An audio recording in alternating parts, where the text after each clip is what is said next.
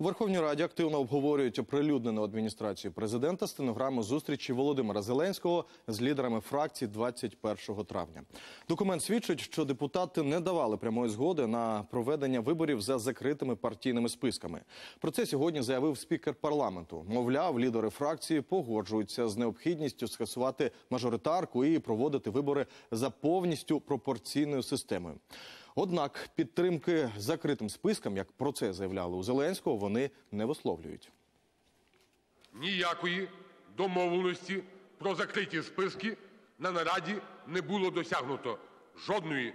І це, що було заявлено про домовленість з головами фракцій про відкриті списки, це відверта неправда.